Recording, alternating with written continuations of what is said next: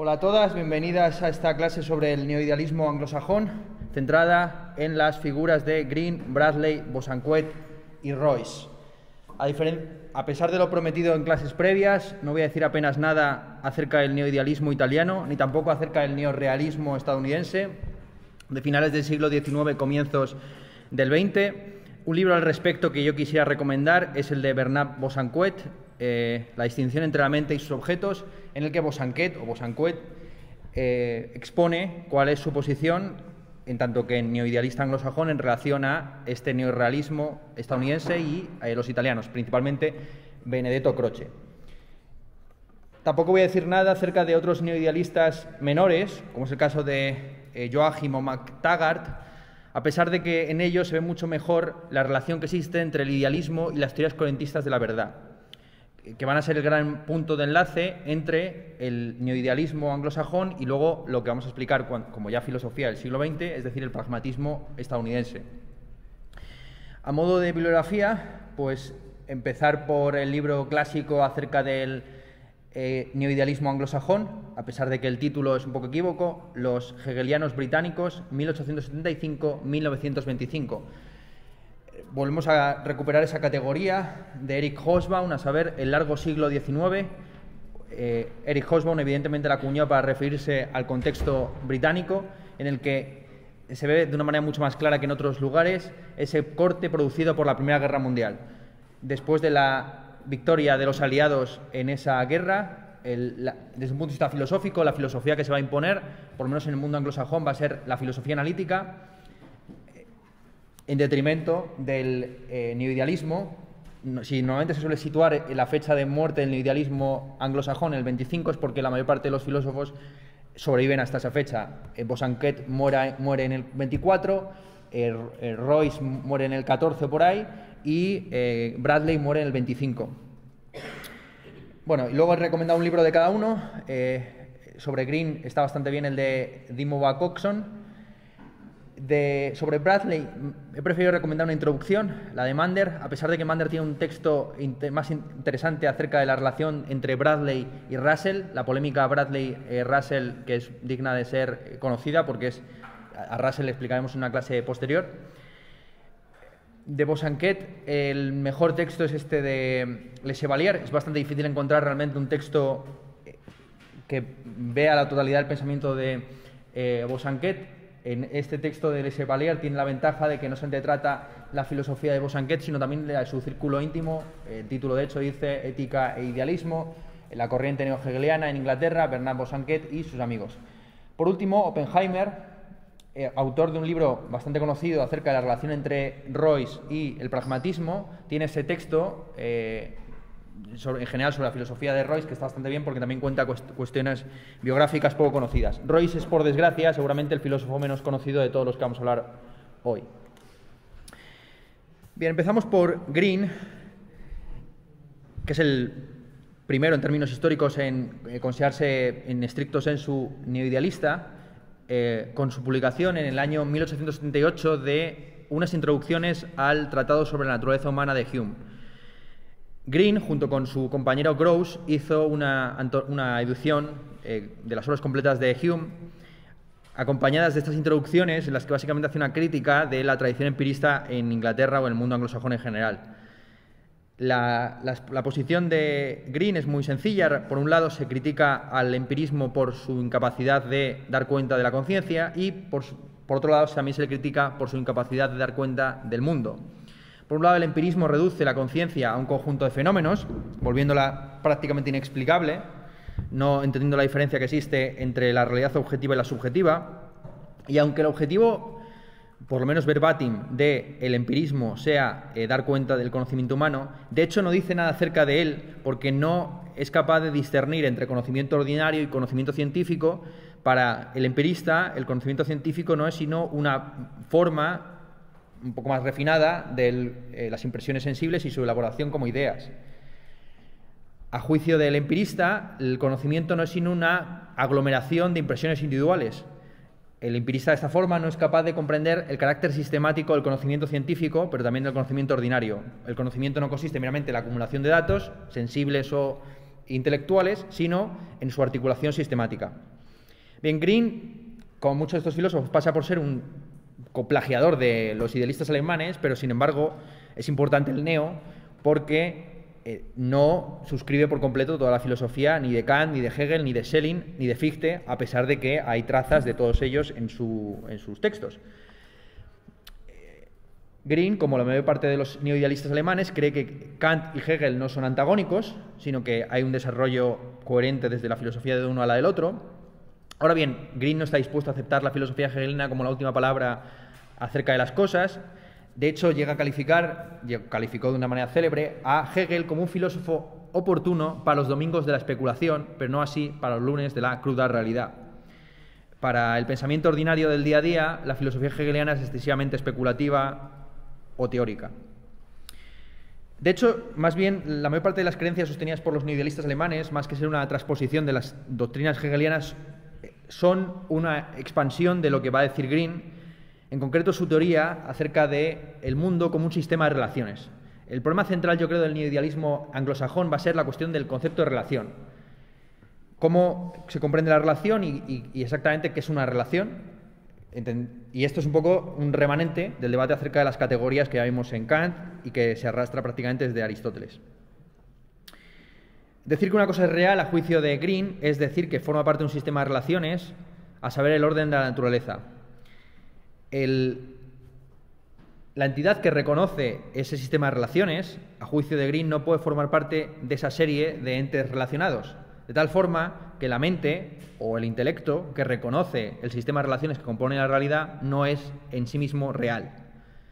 El entendimiento, en tanto que sujeto o principio sintetizador, es por lo tanto irreductible a los factores que sintetiza. Aquí nos encontramos en, Nietzsche con buena parte de los problemas planteados por los idealistas anglosajones. En primer lugar, la contraposición entre lo real y lo ideal, contraposición que no estaba planteada por los idealistas alemanes, y por otro lado la cuestión del holismo, es decir, comprender la realidad siempre desde, un punto, desde el punto de vista de la totalidad, problematizando la cuestión de la relación, de qué significa una relación.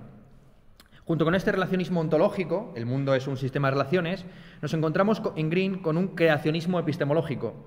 A saber, el mundo no ha sido creado en el orden del ser, sino en el orden del conocer.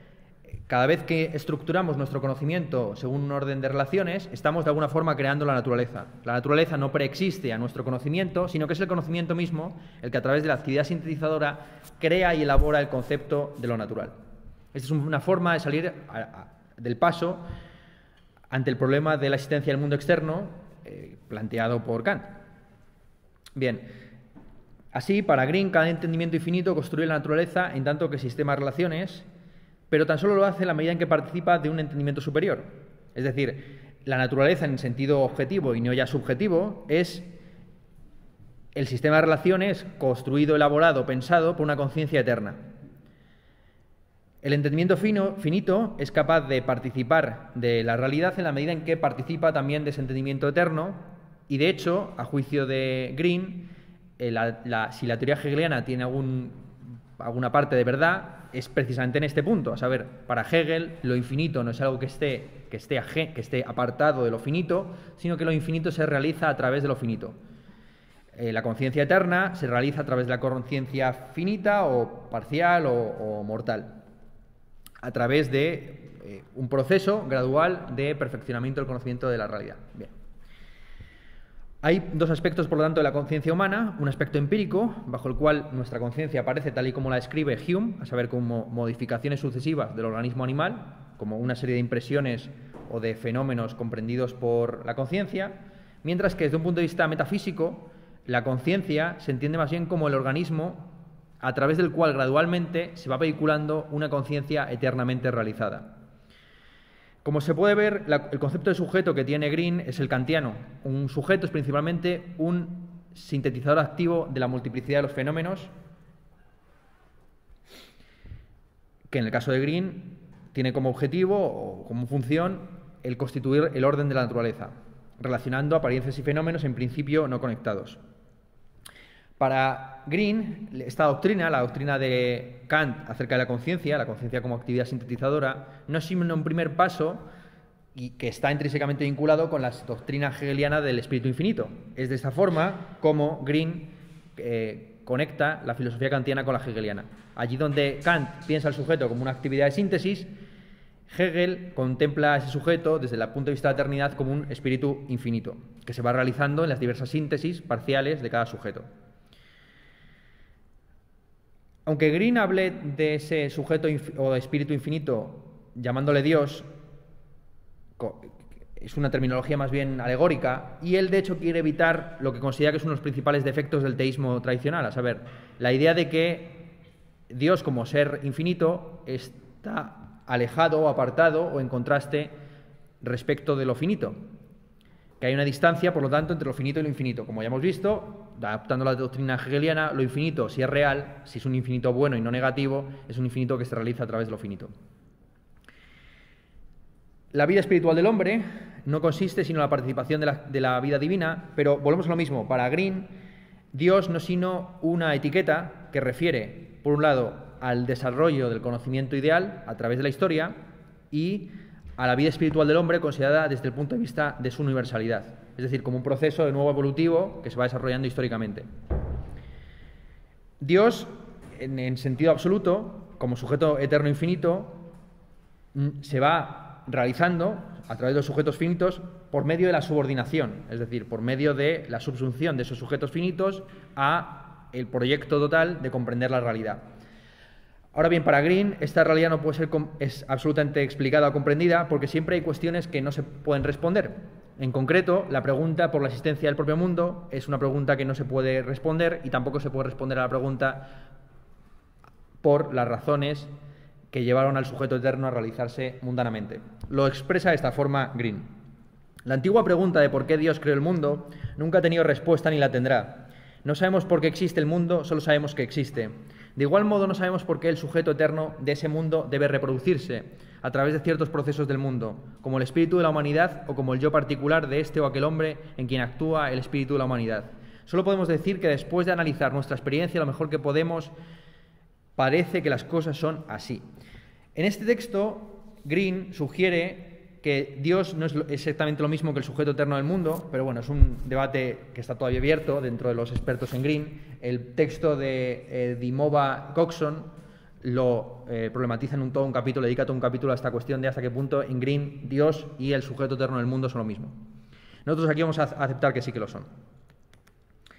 Como hemos dicho, la actividad constitutiva de la inteligencia consiste en realizar síntesis, en relacionar elementos conectados entre sí.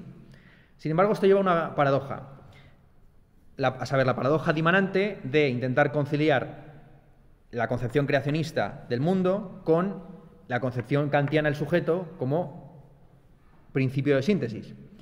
Si lo que hace un sujeto, sea este finito o infinito, consiste en establecer relaciones y en sintetizar términos, ¿en qué sentido se puede decir que el mundo ha sido creado por Dios? ¿Qué creación es esa que tan solo establece relaciones entre términos ya preexistentes? Si Dios es el verdadero creador de la naturaleza, esta debe comprenderse como un sistema de relaciones, lo cual resulta muy paradójico porque sería plantear la, la, posibilidad de un sistema de relaciones sin términos que son relacionados. Si por el contrario el mundo preexistía, la creación divina, y Dios tan solo organiza, sistematiza, sintetiza o relaciona términos que ya existían previamente, entonces no estamos ante un paradigma creacionista, estamos más bien ante un modelo parecido al platónico, donde la materia preexiste a la ordenación del demiurgo y el demiurgo lo que hace es encarnar las ideas formales en ella. Este es un problema que va a aparecer una y otra vez, a saber cómo se puede comprender al mundo como un sistema de relaciones sin la preexistencia de unos términos que son relacionados. Bradley va a sacar mucha punta a esta cuestión. La teoría política ética de Green no tiene mucho interés, es básicamente una teoría práctica de tipo eudemonista, es decir, una teoría práctica que concibe que la idea del bien es primaria a la idea del deber. Aquí vemos de nuevo cómo Green se aleja de los postulados kantianos. Para Kant es más importante el concepto de deber que el de bien. Lo bueno eh, para Green no consiste en la felicidad, sino en la autorrealización. Y entendida esta, la autorrealización como la realización armoniosa e íntegra de las potencialidades de cada persona individual. Esta realización armoniosa e íntegra no se puede identificar con la, con la felicidad entendida como mero placer, porque a juicio de Green, el sujeto moral, el agente moral no es un mero organismo sensitivo, sino que tiene facultades superiores a las sensibles. Una de las características del neoidealismo alemán, alemán perdón, neoidealismo anglosajón es cómo da cuenta de, de los descubrimientos científicos de su siglo y especialmente se enfrenta al debate o al problema del libre arbitrio. Green reconoce que desde el punto de vista empírico, pues los hombres están determinados y no existe algo así como el libre arbitrio. ¿Qué concepto se puede tener, por lo tanto, de libertad si los seres humanos no pueden generar causalmente sus propios actos, sino que estos están determinados por su carácter, por las influencias del entorno, por sus inclinaciones, deseos, placeres, pasiones, etcétera, etcétera. La concepción de la libertad y sobre todo de la responsabilidad que tienen los neoidealistas anglosajones es interesante porque en el caso de Green la identifica con la autoría. Para justificar nuestra definición de libertad no hace falta que el sujeto se autodetermine causalmente, sino que basta con que las acciones que realiza ese individuo tengan una firma, él sea el verdadero autor de ellas. Es decir, que la conducta se deduzca del el carácter de ese sujeto. Si esa forma de comportarse o de conducirse en el mundo es propiamente de ese individuo, se puede decir que ese individuo es responsable, es autor de esos actos y en ese sentido es libre. Aquí, como vemos, el concepto de libertad se ha restringido muchísimo, incluso se ha llegado a identificar simplemente con la responsabilidad. Ahora bien, esta autoría, este carácter, no es tal si no está acompañado de autoconciencia. Para que los factores de la conducta o del carácter sean moralmente relevantes, deben estar acompañados de una autoconciencia por parte del sujeto que es capaz de asumirlos como propios. Tan solo en el momento en que las inclinaciones se convierten, forman parte de la unidad de la conciencia de sí, y en móviles, por lo tanto, el sujeto, podemos hablar propiamente dicho de una cierta responsabilidad, de una autoría por parte de ese sujeto. Las acciones que son meramente el resultado de la compulsión física, de una inclinación irresistible, no proceden del sujeto como tal. No son, de hecho, ni siquiera acciones. Son, en todo caso, eh, pasiones. Y, por lo tanto, no se puede considerar al sujeto como verdadero autor de ellas. Solo en sociedad el ser humano se realiza, esta es una concepción casi tópica dentro de la historia de la filosofía, desde Aristóteles en adelante, de tal forma que el concepto de vocación, o intrínsecamente vinculado con el concepto de autoría y con el concepto de libertad, tan solo se puede realizar o comprender en un contexto determinado social. Aquí Green está yendo por caminos trillados, ya por Fichte. Para Green, igual que para Fichte, el Estado es la sociedad de sociedades. Ahora bien, frente al fetichismo estatalista, podríamos decir, que tenían los idealistas alemanes, que concebían al, Estado como algo más que la suma de sus ciudadanos, los neoidealistas anglosajones pues mantienen un cierto nominalismo británico, por lo menos en la medida en que Green y muchos de los autores subsiguientes van a decir que el Estado no es la en tanto que totalidad no es más que la suma de sus partes, es decir, la nación no tiene una existencia real más allá de los individuos que la componen. El derecho es, un concepto propiamente social, no existen derechos fuera de la sociedad, y si se puede hablar de derechos naturales, en todo caso, será en la medida en que el Estado los reconoce o los atribuye a un Estado prepolítico, reconociendo a los individuos pues, una, serie de, mm, una serie de esferas legítimas de acción. El derecho natural, por lo tanto, no sino esa esfera legítima de acción reconocida por el Estado. En sentido estricto, esos derechos no existen hasta que existe el Estado, pero en sentido lato, o en sentido un poco vago, sí que se podría decir que existen esos derechos prepolíticos o naturales. La ley no es buena porque cumpla simplemente los procedimientos mm, jurídicos de mm, promulgación. La ley es justa o es buena en la medida en que contribuye a la realización de un determinado fin. Para Green, esto será una característica de todos los nihilistas anglosajones, no hay una diferencia entre la moral individual y la moral del Estado. En este sentido, Green sienta las bases del conflicto, por ejemplo, que habrá entre la filosofía de Herbert Spencer, explicado en la clase previa, y la filosofía de Bosanquet. Para Herbert Spencer, el conflicto entre la sociedad y el individuo, entre el Estado y el particular, es prácticamente una característica de nuestro tiempo. Como ya dijimos en la clase previa, Spencer sienta las bases de lo que Friedrich Hayek va a denominar el camino a la servidumbre, o por lo menos de la teoría del camino a la servidumbre, es decir, cómo el Estado, al apropiarse de diversas esferas de acción individual, está sentando las bases de una forma novedosa de esclavitud, es decir, la esclavitud de los individuos respecto de la burocracia, la administración, el gobierno. Pues bien, para los neoidealistas anglosajones hay una fuente común de la moral y de la sujeción estatal, siempre y cuando, dice eh, Green y Bosanquet posteriormente, la sujeción política se entienda como algo más que la mera subordinación al poder fáctico. Un sujeto político no es un mero esclavo, sino que el Estado le garantiza una serie de derechos en tanto que ciudadano. La fuente común de la moral y de la sujeción estatal es, a juicio de Green, el reconocimiento racional de un bienestar común, que los individuos reconocen como suyo, aunque individualmente no lo suscriban en todo momento. La base, por lo tanto, del deber hacia las leyes estatales no consiste en que sea conveniente obedecerlas para promover nuestros intereses particulares, ni que tengamos miedo a ser castigados por esas leyes, sino que la obediencia a las leyes se sostiene o se apoya sobre la obligación moral que tiene el hombre de evitar ciertas acciones incompatibles con el cumplimiento de su fin moral, ese fin moral que es reconocido racionalmente por todos los sujetos. Aquí Green sienta las bases del estatismo neoidealista afirmando que no existe ningún derecho a desobedecer o a rebelarse contra el Estado. Si el Estado y la moral tienen el mismo la misma fuente y el objetivo de la ley no sí consiste sino en, por así decir, evitar aquellas acciones que son incompatibles con el cumplimiento del fin moral propio del sujeto, el Estado está revestido de una autoridad moral que no puede ser cuestionada, frente a la concepción, por ejemplo, que vimos en Rousseau, para, en Rousseau, bueno, en, Rousseau desde luego no, en, en Thoreau. Para Thoreau hay una, una, fuente de moral autónoma independiente de la civilización, a saber, el salvajismo o la naturaleza, que se opone a las leyes injustas a través de la desobediencia civil. Para Green no existe tal derecho a la desobediencia civil, sino que el Estado, siempre y cuando sea, reconozca una serie de derechos a los súbditos, tiene autoridad indiscutible.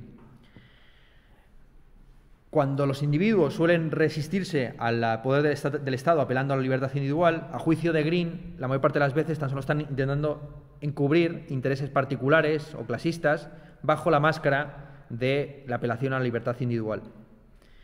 El objetivo del Estado es imponerse por encima de esos, intereses particulares, buscando siempre el desarrollo de los seres humanos y que estos sean capaces de llevar vidas verdaderamente dignas.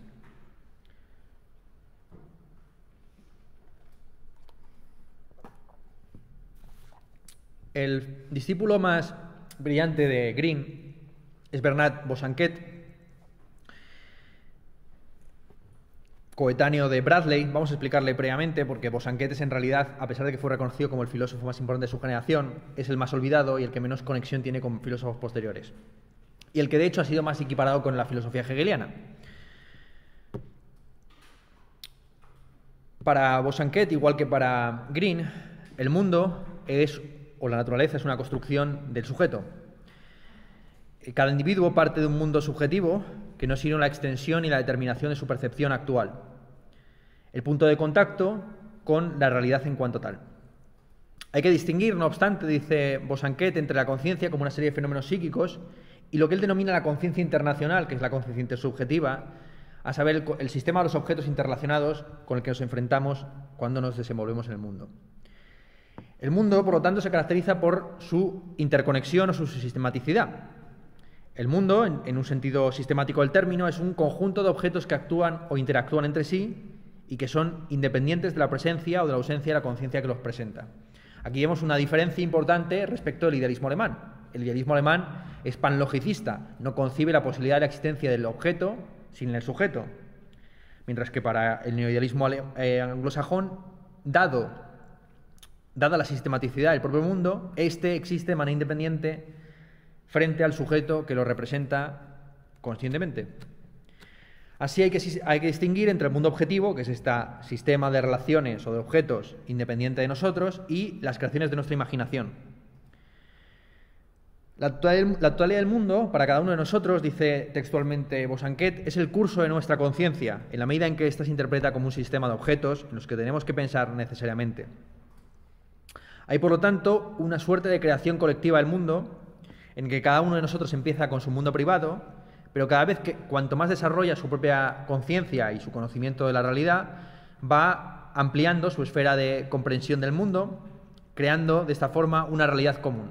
Esa realidad, esa realidad o mundo común es el mundo objetivo. El mundo objetivo no es distinto a el solapamiento de los diversos cursos operatorios o, subjetivos de las diversas conciencias. El proceso de elaborar el mundo, lo dice textualmente así Bosanquet, es el, idéntico al proceso del conocimiento. Conocer no consiste sino en construir mentalmente la realidad como sistema de objetos interrelacionados. La lógica no consiste meramente en el análisis formal de los juicios, sino en el análisis, en el análisis de ese proceso constructivo. Aquí vemos una concepción original de la lógica, pero que tampoco es tan diferente de la que tenía, por ejemplo, Hegel. Lo que sí que es interesante en el Bosanquet es cómo él concibe los juicios como parte del análisis lógico. Para Bosanquet, el juicio es una identidad en la diferencia. Cuando eh, producimos un juicio, lo que estamos haciendo es estableciendo una identidad entre un sujeto y un predicado, estos entre entidades o lógicas que son diferentes, por lo menos antes de ser formulado ese juicio. Para Bosanquet, por lo tanto, el juicio no consiste ni en la síntesis de ideas, ni en la adecuación de un concepto a una realidad, sino en esta identidad en la diferencia. Y el sujeto último de todo juicio no es sino la realidad como conjunto la esencia del juicio, por lo tanto, consiste en establecer una relación entre el contenido ideal de nuestra conciencia y la realidad como ese objetivo o punto de llegada de la construcción del mundo intersubjetivamente. Esto se expresa lógicamente de una manera muy sencilla, saber para Bosanquet, todo juicio que podamos emitir acerca del mundo puede añadirse la cláusula la realidad es tal que X, ¿no? Cuando decimos eh, me voy a quedar calvo, lo que estamos enunciando verdaderamente es la realidad es tal que Ernesto Castro se va a quedar calvo. ¿bien? O el mundo real se caracteriza por que ¿bien? El, el sujeto de todo juicio, no, en el sentido absoluto del término, no es sino la realidad en, tanto que sistema de objetos interrelacionados.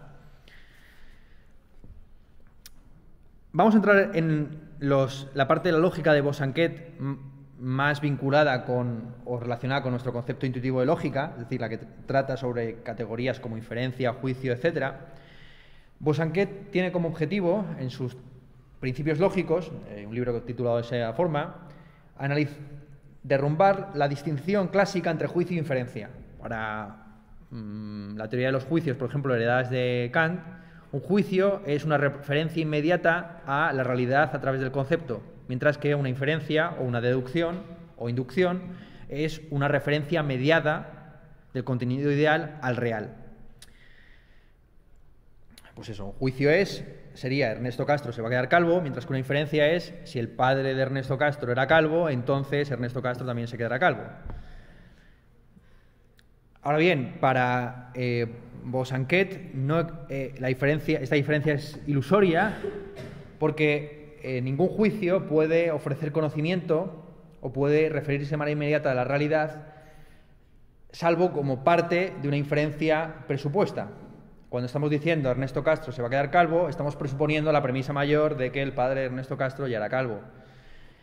Todo juicio, si quiere emitir un o transmitir un conocimiento acerca de la realidad, debe tener una serie de notas, características, es decir, debe estar caracterizado por una cierta necesidad y precisión.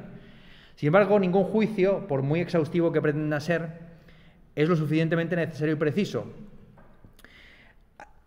Bosanquet no está solamente afirmando que no hay ninguna distinción entre juicio e inferencia, sino que además está añadiendo un correlato muy idealista, a saber que el objeto, o mejor dicho, la fórmula del conocimiento es idealmente un juicio último o absoluto en el que toda la realidad estaría contenida idealmente en el sujeto, eh, o en la relación entre el sujeto y el predicado.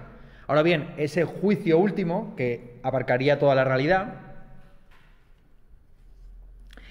es inalcanzable. de tal forma que no, más que hablar de juicios verdaderos o falsos, desde el punto de vista limitado del ser humano, lo que hay que hablar es de diversos grados de veracidad de los juicios. Ningún juicio está enteramente despegado de la realidad ni está completamente pegado a ella. Siempre hay una cierta distancia entre lo que decimos y lo que es la realidad. El pensamiento humano, a, través de la historia, se va aproximando poco, a poco a ese fin último, ideal, que es el juicio último, una comprensión total de la realidad en el que seríamos capaces de sintetizarlo todo en una sola fórmula. Es el sueño de la, de la teoría del todo, en el que podríamos sintetizar pues, todos los conocimientos eh, acerca del mundo en una simple ecuación. Ese juicio último evidentemente trasciende, o esa fórmula o esa ecuación definitiva trasciende cualquier capacidad presente en un, un entendimiento finito dado, de tal forma que el objetivo último del conocimiento es inalcanzable. Sobre todo es interesante cómo Bosanquet derruye, o sea, destruye la, la contraposición tan fuerte que existía entre verdad y falsedad en la epistemología previa. Para eh, Bosanquet, igual que para la buena parte de los nihilistas alemanes, ningún juicio es enteramente falso ni enteramente verdadero, sino que hay diversos grados de aproximación o alejamiento de la verdad. A pesar de que Bosanquet ha sido considerado como un, insisto, plagiador de Hegel, él tiene una concepción de la lógica bastante distinta de la hegeliana en la medida en que afirma que la lógica además de ser el análisis de la construcción del mundo, es una mera morfología del conocimiento, es decir, que nos, ofrece nada más que la forma del conocimiento y no su contenido. Esto es profundamente anti-hegeliano en la medida en que para Hegel no es posible disociar la forma del contenido. Para Hegel no es posible enseñar a nadar sin echarse previamente al agua. Lo que sí que es verdaderamente hegeliano en Bosanquet es la teoría la concepción de la filosofía como una mera explicitación de lo que ya estaba implícito en la conciencia ordinaria. Como ya vimos, para Hegel, la fenomenología del espíritu no es sino la exposición de lo que ya está innuche en la conciencia ordinaria de cualquier individuo o sujeto. Bosanquet lo expresa de esta manera. La filosofía no puede hablar de hechos nuevos ni puede descubrir nada. Lo único que puede decirnos es la relación significativa que se da entre lo ya conocido y si se sabe poco o no se sabe nada, la filosofía tiene muy poco, que, muy poco o nada que decir. Es decir, que la filosofía lo único que hace es explicitar esa conexión significativa entre conocimientos que ya están implícitos en la conciencia del sujeto que filosofa. El objetivo de la filosofía, por lo tanto, no consiste en dar nueva información o en sorprender a, con nuevos descubrimientos, sino simplemente mostrar cómo lo que en la conciencia ordinaria aparecen como fenómenos disjuntos, en realidad forman parte de un sistema exhaustivo en el que cada uno de los miembros constituye una unidad total, en virtud de las características que le separan o distinguen de otros miembros. Así, al filósofo no le interesan los conceptos clase, perro, calvo, etcétera, sino que le interesan los universales concretos. El universal concreto es esa identidad en la diferencia, esa universal que existe en y a través de sus individuos. Frente al concepto clase, que está formado por medio de la abstracción de las características diferenciativas, y así el concepto clase de calvo se hace abstrayendo de la causa por la cual se han ido quedando calvos los diversos calvos, el universal concreto es aquel que se va realizando en cada particular. Eh, como ya hemos dicho, es imposible dar un ejemplo de este universal concreto, porque, por así decir, el, ejemplo sería idéntico a la propia clase o al propio concepto universal. El universal concreto o particular sería ese individuo en el que estarían sintetizados los principios de la totalidad y de la singularidad. A ese universal, Bosanquet le llama, igual que a Hegel, el individuo o lo absoluto. Lo absoluto no es sino ese universal que sintetiza también lo particular, ese universal que se va realizando a través de las diversas particularidades. En términos antropológicos, la individualidad consiste en la riqueza y la completitud del yo, un yo que evidentemente se realiza socialmente, a través de la religión, el arte, la filosofía, campos o disciplinas en los que el entendimiento finito empieza a experimentar algo que trasciende a sí mismo y de esta forma, por así decir, sale de sí, se enajena o se aliena. solamente a través de este tipo de disciplinas, en lo que Bosanquet denomina la moral social, el ser humano abandona la autoconciencia repelente. Este es un término que acuña Bosanquet para referirse a, a ese tipo de autoconciencia caracterizada por una voluntad privada que tan solo concibe la relación con los demás por medio del antagonismo o la competencia. Una concepción mucho más profunda de la realidad debe mostrar cómo los individuos, aunque compitan entre sí, están unidos por lazos de solidaridad que ellos no pueden negar. Este es el concepto, por ejemplo, que tenía Durkheim de la, la llamada solidaridad orgánica. Aunque desde el punto de vista subjetivo el mercado se presente ante el individuo como una competencia a muerte entre todos, desde el punto de vista objetivo, a través de la, concurrencia de los agentes económicos en el mercado, contribuimos a la solidaridad. Es decir, aunque subjetivamente uno, cree, uno crea que está cumpliendo sus eh, deseos más egoístas, en el fondo el egoísmo es un medio del altruismo. Esto, es un poco, esto también incluso tiene algunas aplicaciones al llamado altruismo genético a día de hoy. Eh, Richard Dawkins y toda esta gente, ¿no? que dicen que la base del altruismo pues, consiste precisamente en el, en el egoísmo genético. Uno está dispuesto a sacrificarse por individuos con los que comparte cierto pool genético esta posición evidentemente ha sido reducida al absurdo, por ejemplo, bajo la idea de que si esto fuera cierto y tan solo nos sacrificáramos por aquellas personas que, con las que compartiéramos material genético, lo cual explicaría pues, por qué los, cómo los conejillos de indias se sacrifican a los que están de vigías para que algunos puedan escapar a los depredadores. Si esto fuera cierto, eh, dicen los críticos o caricaturizadores de, de estas premisas sociobiológicas, tan solo nos sacrificaríamos por dos hermanos, en la medida en que los hermanos tienen 50% de nuestro material genético, cuatro primos, en la medida en que los primos tienen el 25% de nuestro material genético, ocho, eh, ocho primos segundos y así, eh, o sea, en última instancia, nadie se sacrificaría por nadie si fuera verdaderamente esta la base del altruismo. Es decir, si fuera una base genética y no en última instancia eh, emocional, que yo creo que esta es la base en realidad del altruismo. Sea como fuere, para Bosanquet la superación de la autoconciencia repelente se realiza de manera plena en la religión. La religión no consiste sino en la forma en la que los seres humanos trascienden el nivel de su yo pequeño y empobrecido, sintiéndose parte de una riqueza y plenitud superior en la unión con lo divino y con los demás.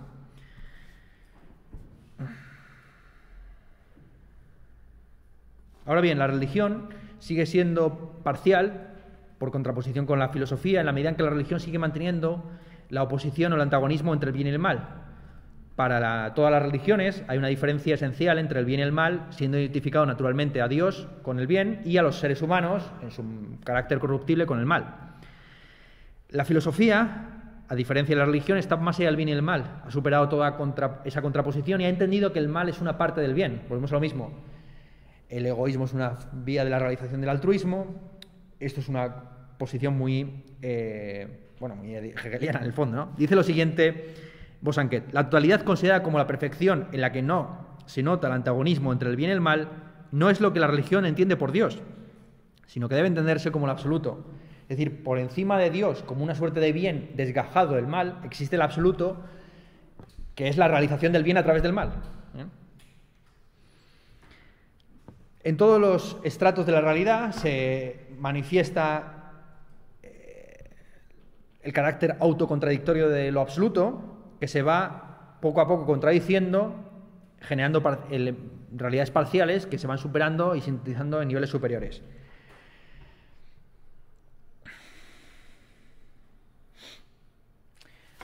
Por último, unas palabras acerca de la, filosofía del Estado de Bosanquet, que es la, parte seguramente más infame o más criticada de su eh, filosofía, pero en realidad aquí hay una eh, malversación o una mistificación o una concepción equivocada.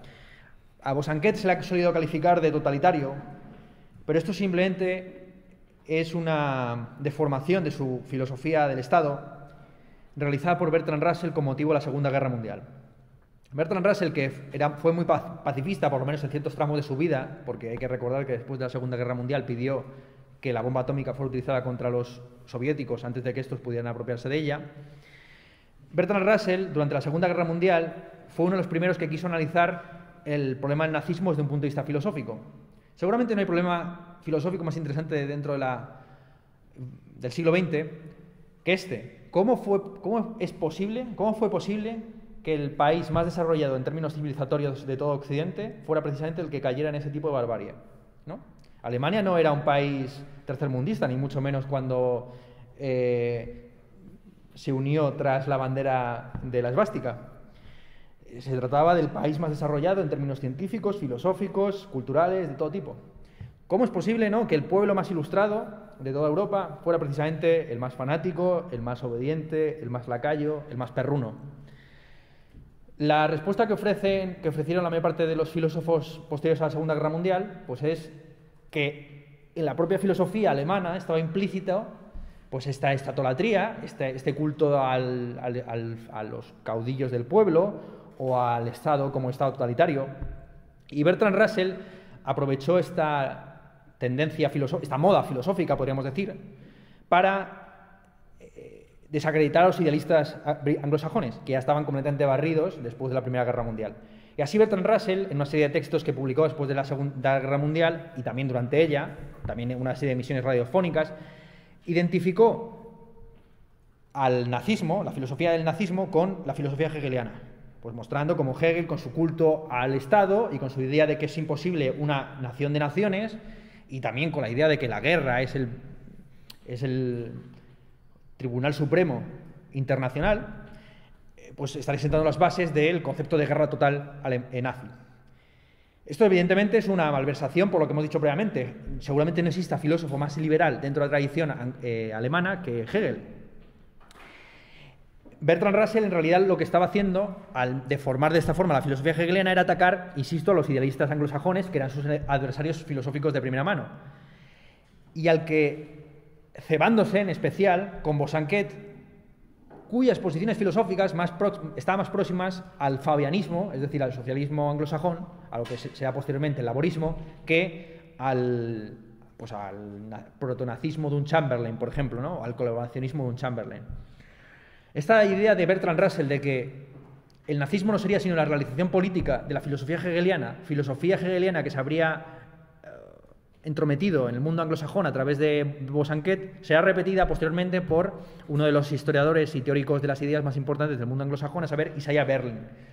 Isaiah Berlin es un, lituano que emigró a los Estados Unidos, también con motivo de la Segunda Guerra Mundial, una serie de textos que tiene sobre precisamente los orígenes del, filosóficos del totalitarismo, eh, analiza cómo Green y Bosanquet pues, estarían en la base de esta concepción total del Estado, como un Estado ante el cual uno no se puede rebelar, un Estado que debe ser obedecido, etcétera, etcétera. Evidentemente, Bosanquet, al tener una concepción holista de la realidad, pues no iba a afirmar que el Estado era un mero artificio que permitía a los individuos la persecución de sus fines particulares en paz y seguridad, que la concepción, por ejemplo, que tenía Herbert Spencer. Pero Bosanquet en realidad tampoco es un rusoniano en, sentido estricto, siendo Rousseau el padre de la concepción totalitaria de la democracia, es decir, una democracia que no permite nada fuera de sí misma. De hecho, Bosanquet comienza sus textos de el principal texto suyo de filosofía política criticando a Rousseau.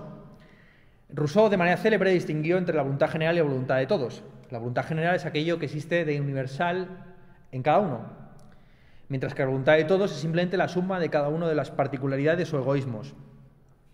Ahora bien, cuando Rousseau afirma que las decisiones de la Asamblea deben imponerse sobre cada individuo y que al obligarle a cumplir con las leyes que él mismo no ha votado, contra las que ha votado, se le está haciendo libre, es decir, que al mismo tiempo que, que la represión es idéntica a la libertad, eso lo dice literalmente Rousseau, es decir, cuando uno obliga cuando uno está castigando a un individuo con una ley que él mismo no ha votado, contra la cual ha votado, en realidad no se le está castigando, sino que simplemente se le está haciéndose, haciendo que se concuerde con una voluntad general que trasciende su voluntad particular. Es decir, el, castigo, el, el, castigo hace libres a los sujetos. Pues bueno, para Bosanquet esto es una perversidad.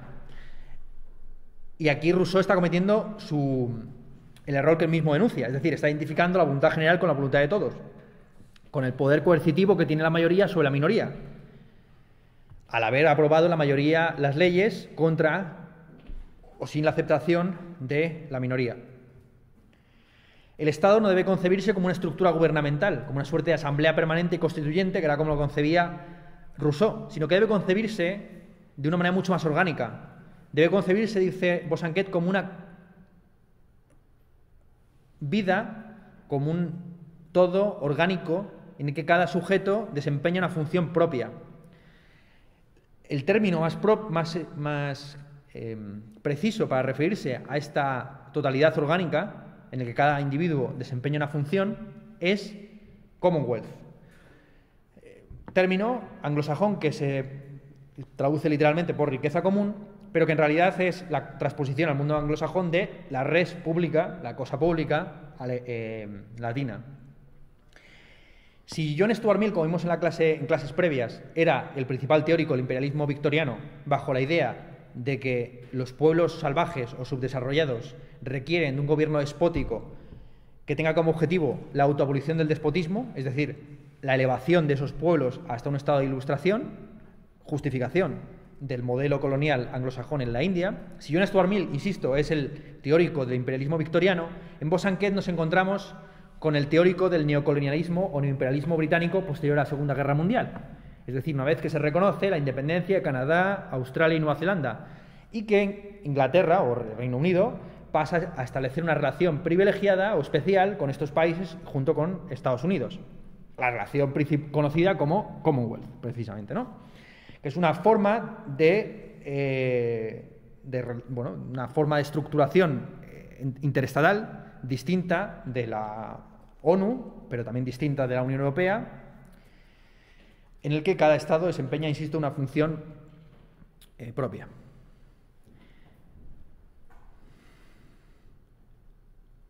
Bosanquet, por establecer otra contraposición,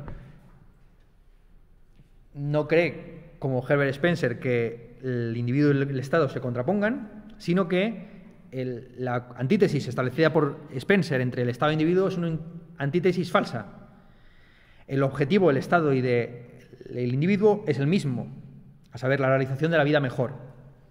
Esto es, del autodespliegue de las posibilidades o capacidades de los hombres o del ser humano en sentido amplio. Para Bosanquet, a diferencia de para, Hegel, y para Kant, no es posible gobernar un pueblo de demonios. Recordáis que Kant decía que las mejores leyes son aquellas que se pueden aplicar incluso contra los hombres más perversos o sobre ellos. Para Bosanquet, un Estado no es gobernable si los ciudadanos no, interiorizan la moral estatal, es decir, si no actúan y tienen una intención conforme a las leyes promulgadas por el legislador. El objetivo de la ley, de hecho, no es sino eliminar los obstáculos a la realización de los individuos. La función primaria de la ley, insisto, consiste en eliminar esos obstáculos al buen desarrollo de la vida. Según este principio, dice Bosanquet, se pueden justificar medidas aparentemente totalitarias o que conducentes a una nueva esclavitud o servidumbre, como el caso de la enseñanza obligatoria. La enseñanza obligatoria o la limitación del horario laboral eh, o la prohibición de que trabajen los niños, lejos de ser una coerción a, a los individuos, consiste, es una forma de eliminar un obstáculo al desarrollo completo y amplio de las posibilidades humanas. Prohibir a los niños acudir a la mina, lejos de ser una limitación de su libertad, es una medida que permite remover el obstáculo que impedía su desarrollo como personas eh, plenas. Toda filosofía, que sea una filosofía universal, para Bosanquet debe tener en el horizonte el ideal de la humanidad, Ahora bien, la humanidad no proporciona una base adecuada para una comunidad efectiva, y aquí Bosanquet está yendo por caminos trillados hegelianos. No es posible un Estado de Estados, ni tampoco una organización de Naciones Unidas. También Bosanquet se pronuncia contra la idea de un lenguaje universal, como podría ser el Esperanto. Cualquier intento de limar o reducir las diferencias culturales entre las diversas naciones no puede conducir sino a un empobrecimiento de la literatura, la poesía y una destrucción en general de la vida intelectual. De esta forma, Bosanquet hace, suyo el nacionalismo lingüístico típicamente alemán. Evidentemente, aunque sea una deformación de Russell, en Bosanquet nos encontramos con un estatalismo similar al de Green, a saber, no es legítima la desobediencia civil y aunque pueden, haber, pueden darse ciertas circunstancias en las que el Estado actúe de manera inmoral, en general esas ocasiones o circunstancias son apenas concebibles. Bien, vamos a hablar un poco, vamos a saltar ya directamente sobre la figura de Herbert, eh, Francis Herbert Bradley, cuya obra principal es Apariencia y Realidad, uno de los pocos textos del siglo XIX que siguen todavía discutiéndose en la filosofía puntera a día de hoy en el mundo anglosajón. Apariencia y realidad, de hecho, se podría decir que es una de las grandes canteras de problemas lógicos y Bradley, más que un idealista, es un escéptico y un místico, o un fideísta. Para él, lo dice textualmente en Apariencia y Realidad, la principal exigencia de la filosofía inglesa es el estudio escéptico de los primeros principios, es decir, darse cuenta de las preconcepciones y ponerlas en duda. Bradley asume una posición interesante en relación al debate acerca de la dialéctica. Si recordáis, en Hegel estuvimos comentando pues cómo hay algunos intérpretes que consideran que para Hegel las contradicciones no son reales. Es decir, precisamente Hegel lo que está diciendo es que el entendimiento no se siente satisfecho ante las contradicciones y por ese motivo la razón se ve obligada a elevarse por encima de las particularidades de cada estrato de autoconciencia. Bien, ¿hay o no hay contradicciones reales? ¿El árbol es la contradicción de la semilla o no? Para Bradley, la dialéctica no se entiende como ciencia del movimiento ni nada por el estilo, sino que la ciencia, la, dialéctica es simplemente una crítica de la autoconciencia, una forma autocrítica y sistemática en la que se pone en cuestión la incapacidad del pensamiento humano de aprender debidamente la realidad última. Lo que, las contradicciones no son reales, sino que son meramente aparentes. El mundo del pensamiento, como un mundo que genera contradicciones, es un mundo de apariencia y lo que hace la metafísica es revelar precisamente el conjunto de antinomias y contradicciones engendradas por el pensamiento. La realidad, más allá de toda apariencia, a juicio de Bradley, eh, está libre de contradicción. Es un conjunto armonioso totalmente eh, homogéneo.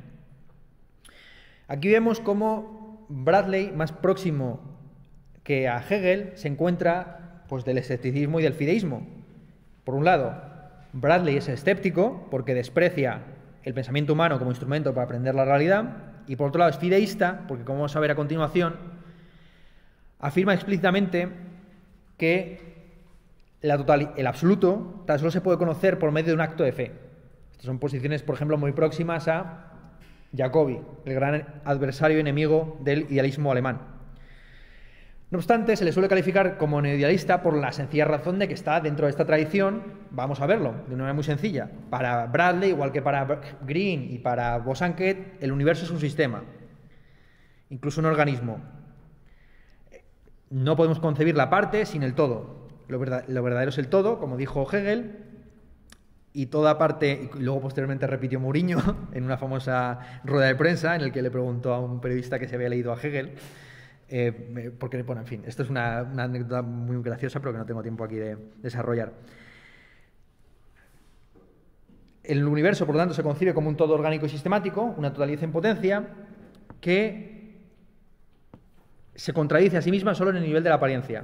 Aquí nos encontramos ya finalmente con una concepción madura de lo que hemos visto en los neodelistas previos. A saber, el mundo es una totalidad, enfoque holista, y está estructurada sistemáticamente. Ahora bien, las contradicciones que se desarrollan en cada estrato de la vida o del mundo o del universo no son sino aparentes. El escepticismo de Bradley no solamente va a ser teórico, sino también práctico. Esto se ve muy bien en su libro Estudios Éticos, en el que básicamente sienta las bases de lo que va a ser la metodología de la filosofía práctica anglosajona posterior, a saber, la contrastación entre las intuiciones y las teorías. Lo que va a hacer Bradley en ese libro va a ser contrastar las intuiciones del hombre corriente acerca de lo que es la responsabilidad y la imputabilidad con diversas teorías acerca de la libertad, la identidad, la autoridad, la responsabilidad. Bien. Para el hombre corriente, dice Bradley, pero en realidad donde él está diciendo hombre corriente, se podría traducir por o poner el nombre propio de Green, el hombre corriente o Green da por supuesto implícitamente que no se puede declarar moralmente responsable a una, una acción si el sujeto no es el que la ha llevado a cabo. Es decir, si no hay una identidad que subyace a ese acto. Ahora bien, esa concepción de la identidad y de la responsabilidad es inviable o entra en contradicción con la psicología asociacionista, la psicología empírica que se desarrolló a finales del siglo XIX, que básicamente quería eliminar el concepto de sujeto, el de identidad, reduciendo la conciencia a una serie de estados subjetivos. Para esa psicología asociacionista no existe la autoidentidad permanente. El sujeto es una mera, insisto, un flujo de conciencia, de tal forma que despojada de identidad la responsabilidad es un puro absurdo. De esta forma vemos cómo la libertad es incompatible con el determinismo. Si estamos determinados y nuestra conciencia no es sino un flujo de experiencias subjetivas, no es posible ni la responsabilidad ni la identidad. Ahora bien, dice Bradley, la libertad no solamente es incompatible con el determinismo, también es incompatible con el indeterminismo.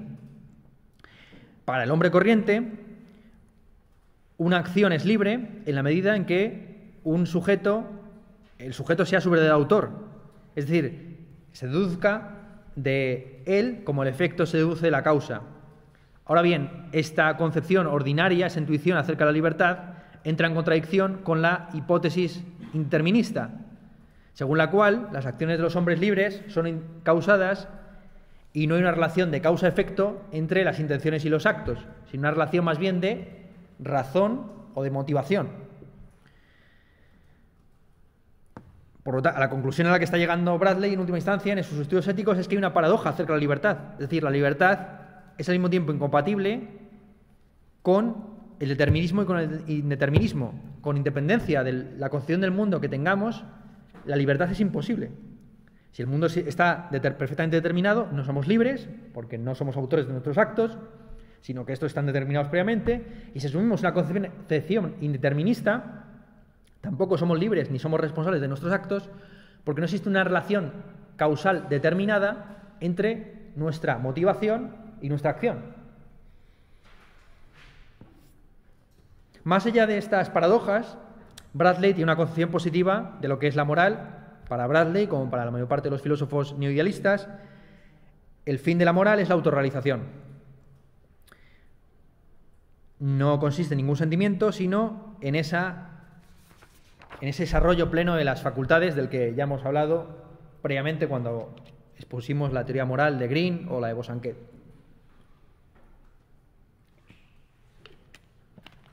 Ahora bien, para Bradley no existe la buena voluntad en un sentido kantiano del término, sino que la única voluntad que existe es la voluntad social, lo que él denomina la voluntad universal, en que, a través de la cual los sujetos se van coordinando con sus semejantes en sociedad. Prescindiendo de sus relaciones sociales, los individuos son una, pura abstracción. Autorrealizarse moralmente, por lo tanto, es estar de acuerdo con la moral social. Es decir, la moral tal y como está explicitada en las leyes, las instituciones, las costumbres, las opiniones, los sentimientos, etc. La esencia del hombre se realiza históricamente, aunque de manera imperfecta, en cada uno de sus estratos temporales, de tal forma que hay una gradación y evolución moral. La moral no solamente es relativa, sino que debe serlo. Lo que era justo en un determinado periodo histórico no tiene por qué serlo en el siguiente. Los deberes y los derechos no tienen ningún sentido sino contemplados desde el punto de vista social, es decir, integrados en una historia concreta Ahora bien, esta posición de Bradley no es una posición relativista completa y total. Bradley afirma que si desde el presente somos capaces de cobrar conciencia acerca de los defectos de los códigos morales del pasado, también los miembros clarividentes de las sociedades del pasado podían haberse dado cuenta de los defectos de sus propias sociedades. Así, no se puede justificar la esclavitud en la Grecia clásica simplemente diciendo pues que era la época, Bien. Más allá del relativismo histórico necesario, Bradley asume que somos capaces de, comprender endógenamente las limitaciones de nuestra propia sociedad. El objetivo del desarrollo moral no es sino la realización del yo ideal. Este yo ideal, como ya hemos dicho, tan solo se puede desarrollar en sociedad y aquí nos encontramos con una nueva paradoja. Lo expresa de esta manera Bradley. El hombre no es hombre si no es social, pero el hombre no supera mucho a las bestias si no es algo más que un ser social.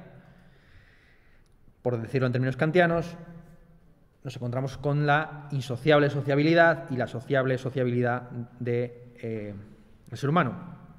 ¿Cómo conciliar esta aparente contradicción de que, por un lado, la única moral que existe es la, moral de la voluntad universal colectiva y que, por otro lado, el objetivo de esa moral sea el desarrollo del yo ideal? En realidad, Bradley no ofrece una respuesta, sino que, como ya hizo en Apariencia y Realidad, en este texto, principios de ética, pues lo que está haciendo más bien es mostrar aporéticamente las contradicciones de la moral. O sea, cómo la moral busca su propia extinción. Dice lo siguiente Bradley, la moral es un proceso sin fin y por lo tanto una autocontradicción, y como tal no permanece en sí misma, sino que tiende a trascender su realidad existente. La moral, al trascenderse, se convierte en religión, el ideal de la moral no se realiza estatalmente, sino religiosamente, a través de la conciencia religiosa. Ahora bien, Bradley le plantea a la religión la misma objeción que le planteó Bosanquet. La religión sigue planteando una contraposición maniquea entre el bien y el mal. Según la religión, o la, estaba aquí hablando básicamente del cristianismo, el mundo está alineado de Dios. El mundo es un mal contrapuesto a la bondad de Dios. El yo está inmerso en el pecado frente a Dios que sería santo o sagrado sin mácula. No obstante, y aquí nos encontramos con el fideísmo de Bradley, la, filosofía no es un estadio posterior a la religión que la subsume y la convierte prácticamente en alegoría, como sucedía en Hegel. Para eh, Bosanquet, la religión es la máxima expresión de la filosofía, en la medida en que la religión busca una síntesis entre el bien y el mal entre Dios y el yo, entre lo infinito y lo finito, en la fe. A través de la fe religiosa, el pecador se reconcilia con, con Dios y queda, justificados, queda justificado el mal en nombre del bien. Como vamos a ver, para Bradley, detrás de toda metafísica hay siempre un acto de fe. La filosofía parte de las conclusiones que va a intentar posteriormente demostrar, igual que lo hace la teología. Bien, Bradley, como digo, más interesante que por su filosofía positiva es por los problemas que plantea en términos lógicos. La lógica de Bradley es muy interesante. Para empezar, porque, como la mayor parte de lo lógico más importante del siglo XIX, distingue de una manera muy clara entre lógica y psicología. Al lógico no le interesan los, el contenido empírico de los juicios, es decir, no le interesa cuál sea el origen psicológico de las ideas o de los conceptos, sino que lo que analiza en términos lógicos, es la función simbólica que desempeñan esas ideas. Desde el punto de vista de la lógica, las ideas son simplemente símbolos, y la lógica, en ese sentido, es lógica simbólica. Aquí, evidentemente, está atacando a las concepciones psicologicistas de la lógica, por ejemplo, defendidas por Alexander Bain, uno de los discípulos en el siglo XIX del empirismo anglosajón.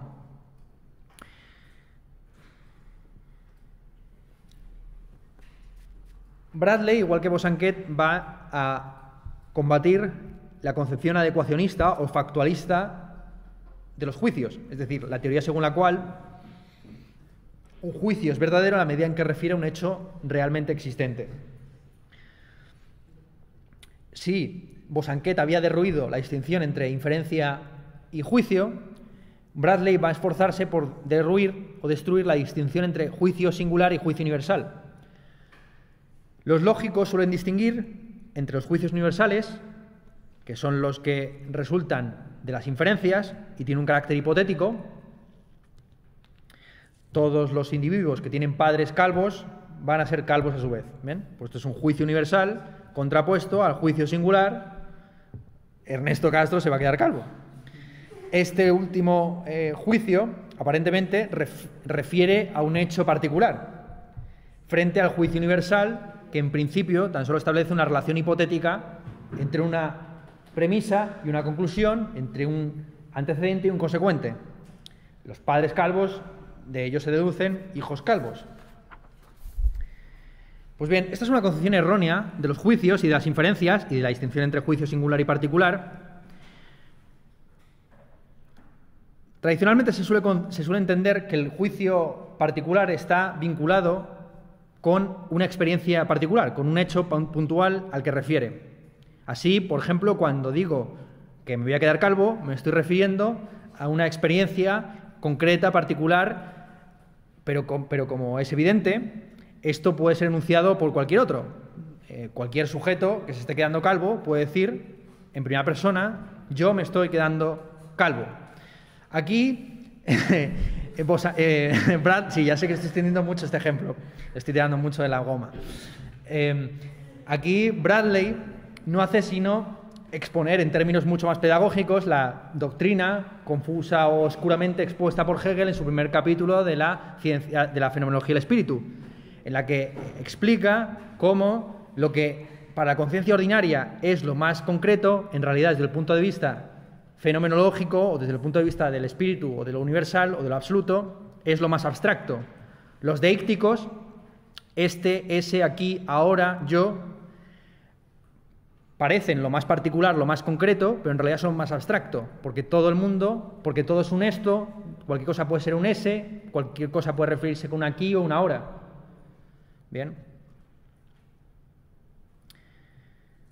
La conclusión a la que llega Bradley, evidentemente, es que si se entiende el juicio como una síntesis unión de ideas, todo juicio es general, porque todo juicio establece simplemente una relación entre términos ideales y así una distancia absoluta entre la idea, lo ideal y lo real. Si las ideas son universales, que no se concretan en lo particular ni refieren a la realidad, entonces, evidentemente, todo juicio es universal. Ahora bien, para Bradley, ni los juicios son simplemente descripciones de hechos, ni los juicios son meramente síntesis de ideas.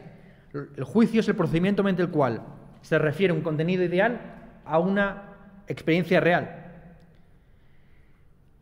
Aquí vemos, insisto, la novedad del neoidealismo anglosajón. Es decir, es el, neoidealismo anglosajón el que problematiza la relación entre lo real y lo ideal, problema que no estaba planteado por el idealismo alemán previo. Para Bradley, igual que para Green y para Bosanquet, el sujeto latente y último de cualquier juicio es la realidad como conjunto.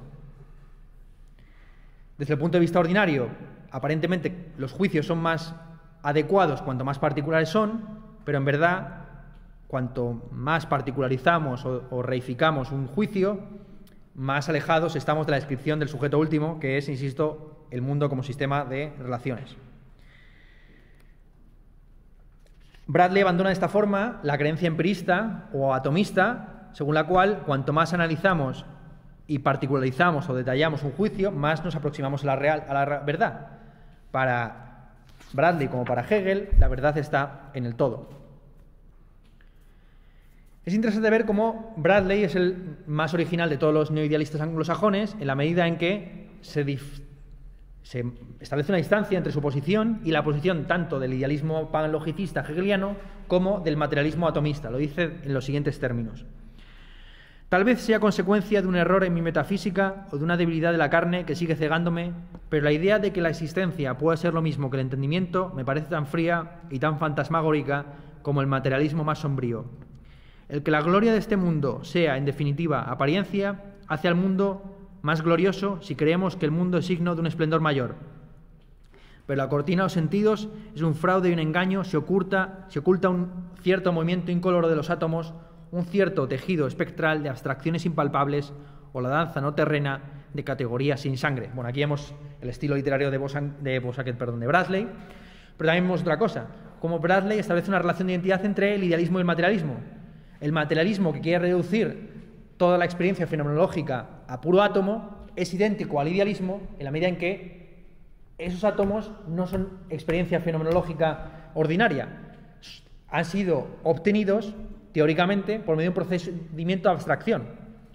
El idealista que afirma que toda la realidad es entendimiento está diciendo lo mismo que el materialista que dice que toda la realidad es materia, entendida la materia como algo abstracto, no realizado en las diversas particularidades u objetos concretos. ¿Bien?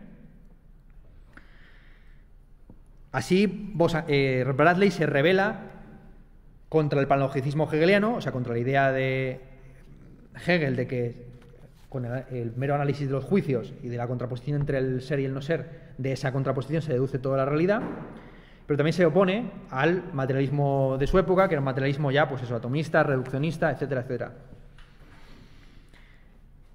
Frente a este idealismo y este materialismo, Bradley defenderá una metafísica particular, como hemos dicho, de carácter fideísta.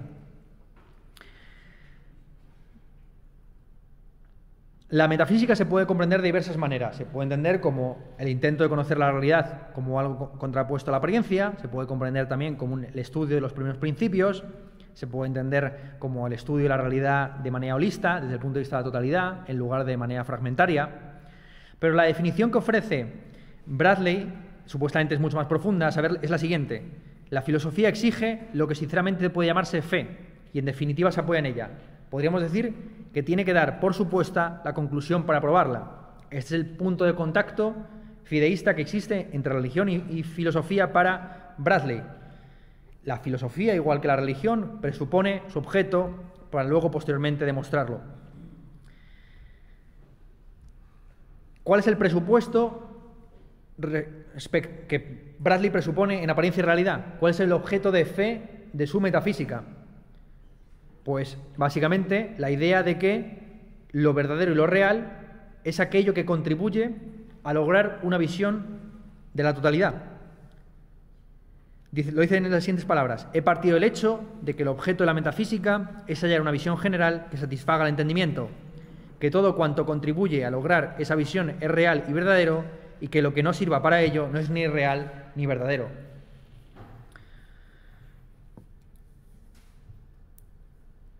Paradójicamente, a pesar de ser un idealista, aquello que contribuye de manera más decisiva a concebir la realidad desde el punto de vista de la totalidad es el sentimiento, la sensibilidad. Lo dice de la siguiente manera en el capítulo sexto de su ensayo sobre la verdad y la realidad. Lo absoluto o el uno que busca la metafísica no se encuentra o se alcanza por medio de un proceso de inferencia, sino que viene dado por la experiencia básica del sentimiento, Bradley de esa forma acepta la objeción de que la metafísica parte de sus propias conclusiones, pero lejos de considerar esto un demérito, considera que es el fundamento de toda metafísica. Toda metafísica parte de unos primeros principios, los da por verdaderos y luego no los puede demostrar, sino que en todo caso quiere llegar a ellos. Bradley va a intentar llegar a esa verdad, a saber que existe una totalidad orgánica y armoniosa que no está atravesada por contradicciones, por medio de un método escéptico aporético, este método escéptico vaporético obtiene sus conclusiones más relevantes en el famoso capítulo Apariencia y Realidad dedicado a las cualidades y las relaciones. Esta es la cantera de problemas filosóficos más importante de la filosofía anglosajona del siglo XX. La relación o el análisis que ofrece em, Bradley de la relación entre cualidades y relaciones, valga la redundancia. Las cualidades, dice Bradley, son incomprensibles sin las relaciones. No podemos pensar una cualidad sin que ésta posea una, un carácter distintivo y por lo tanto como distinta respecto a otras cualidades. No podemos pensar el rojo sin la relación que mantiene el rojo con los demás colores. Una relación de distinción, pero también de complementariedad o de, o de mal gusto en caso de que se combinen en un atuendo. Sin embargo, las cualidades tampoco se pueden concebir completamente ni se pueden reducir a sus relaciones, porque las relaciones requieren de términos que relacionar. Una relación que no tuviera términos preexistentes a la relación no sería propiamente dicha una relación. Esto desde el punto de vista de las cualidades, pero la misma paradoja se ofrece desde el punto de vista de las relaciones. Las relaciones son ininteligibles sin las cualidades porque, insisto, las relaciones lo que hacen es referir o relacionar términos preexistentes, pero también son ininteligibles o incomprensibles cuando se consideran junto a sus términos. Si se concibe a la relación como una cosa, independiente de los términos,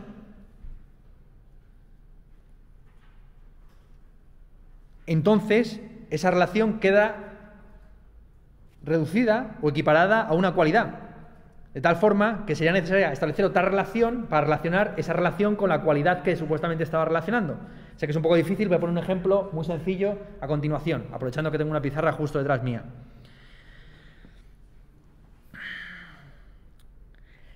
Una relación tiene que ser algo o nada. Si no es nada, no puede relacionar cualidades preexistentes. Pero si es algo, necesita una relación adicional que la relacione con las cualidades que supuestamente está relacionando. De esta forma, Bradley llega a lo que muchos consideran que es su gran hallazgo filosófico, a saber, el regreso de Bradley. Toda relación, si se concibe como algo real, requiere de segundas y terceras relaciones que relacionen las cualidades con la relación.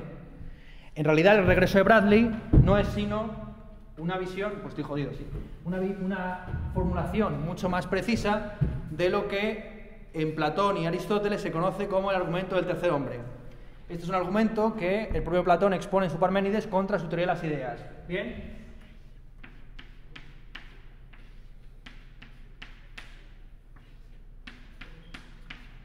Originalmente, la teoría de las ideas lo que tenía como objetivo es dar cuenta de los elementos en común entre diversos particulares. ¿Bien? ¿Qué es lo que tienen en común dos hombres concretos y particulares? Pues su participación respecto de una idea universal de hombre. ¿Bien? Bueno, esto, esto debería hacerlo un poco más apartado para que pudiera hacer lo que quería hacer. Vamos a hacerlo bien. Prefiero calvos. Bien. Es a través del universal que los particulares se pueden definir en sus términos comunes.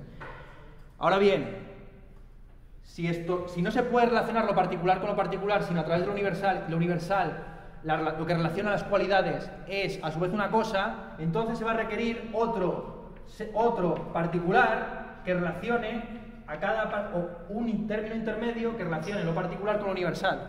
Y a su vez se va a requerir, bien, lo vemos, lo que aquí se está planteando es cómo las relaciones no se pueden concebir como reales. Si una relación es real, necesita a su vez de terceras y cuartas relaciones para relacionarse con las cualidades que relacionan. ¿Se entiende o no se entiende? Este es el argumento del tercer hombre de Aristóteles. Esta es la forma en que Aristóteles critica la concepción que tiene Platón de, de, las cualidades o de los términos comunes como algo subsistente que existe de manera independiente a los individuos.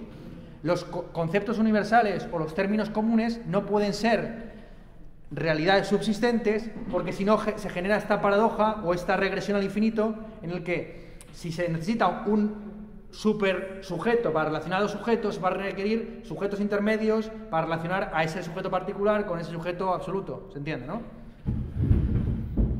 La conclusión es muy sencilla, no existen las relaciones reales. Las relaciones o bien son algo que ya preexiste en los individuos o bien no tienen realidad propia. Esto es lo que se conoce como el regreso de Bradley. Como se puede ver, el regreso de Bradley es un misil contra la concepción relacional del mundo que tenían los idealistas neoidealistas anglosajones. Para todos los predecesores de Bradley, el mundo es un sistema de relaciones, un sistema de objetos interrelacionados. Mientras que para eh, Bradley la realidad no es relacional, la realidad independiente de toda contradicción, es una unidad armoniosa, bueno, ni siquiera armoniosa, orgánica, indivisible. Las relaciones no se pueden concebir ni como internas ni como externas. Si son internas, se identifican simplemente con los términos que relacionan, y si son externas, entonces son cosas independientes que a su vez deben ser relacionadas. ¿Bien? Esta paradoja, a saber, las relaciones no se pueden concebir como reales, Bradley la aplica al espacio y al tiempo, concebidas, estos, estas dimensiones como relaciones reales, precisamente. El espacio no puede concebirse como una relación, porque todo espacio está compuesto de partes que a su vez son espacios. Así, si el espacio fuera simplemente una relación entre posiciones, habría que decir, de manera absurda y casi circular, que el espacio no es sino una relación entre los distintos espacios. Y se requeriría terceros y cuartos espacios que relacionaran los espacios espaciados. ¿Bien? Empezamos a entrar ahí en círculos y viciosos muy mm, perversos. Y lo mismo sucede con el tiempo. El tiempo no puede ser simplemente la relación entre el antes y el después. Porque si fuera una relación entre unidades sin duración, entre instantes atemporales, entonces la suma de, de todos los tiempos sería atemporal ella misma. el tiempo, en sentido absoluto, no tendría duración y no sería probablemente dicho tiempo. Vale. Estas mismas paradojas se pueden plantear en relación al yo. Si tratamos de identificar al yo con los contenidos actuales de, de la experiencia de un individuo, nos encontramos con una paradoja similar a la que hemos visto previamente. Porque el yo no es simplemente un instante temporal, sino una relación de permanencia o de continuidad entre el pasado y el futuro, algo que dura más allá del presente. Pero si intentamos encontrar esa invariante, ese yo relativamente duradero que subyace al presente, al pasado y al futuro, nos encontramos con que es imposible distinguir o discernir dónde empieza el yo esencial y dónde acaba el yo accidental. El yo, por lo tanto, es un acertijo sin respuesta. Y esto para Bradley no es un demérito, porque como ya hemos dicho, todas las apariencias están atravesadas por contradicciones. El yo, dice textualmente Bradley, es sin duda la forma superior de experiencia que tenemos, pero precisamente por ello no es una forma verdadera. Para Bradley, toda forma de experiencia es una forma falsa de la realidad. Ahora bien, hay falsedades reales, es decir, la apariencia no se puede comprender sino en relación con la realidad. La realidad separada y apartada de toda apariencia ciertamente no es nada. Aquí Bradley aparentemente se está contradiciendo a sí mismo, habiendo dicho al comienzo que lo absoluto es completamente distinto y no tiene contradicciones ningunas, y diciendo ahora que lo absoluto no es sino la suma o totalidad de todas las apariencias, no es una entidad adicional. De nuevo, lo, real o lo ideal no es simplemente algo apartado, lo ideal no es algo apartado de lo real, o, viceversa, lo absoluto no es algo apartado de lo particular, sino que se realiza y está concretado en lo particular. ¿Qué es la realidad para Bradley? Pues paradójicamente, a pesar de que se le llame idealista, la realidad es, en un sentido absoluto del término, un acto de experiencia infinito, el ser y la realidad, dice Bradley, son una misma cosa con la sensibilidad. Lo absoluto es un sistema y su contenido no es sino la experiencia sensible. Esta experiencia infinita, aunque no hemos llegado a ella, se podría describir como un sistema que lo incluya todo, lo abrace armoniosamente en sus diversas partes.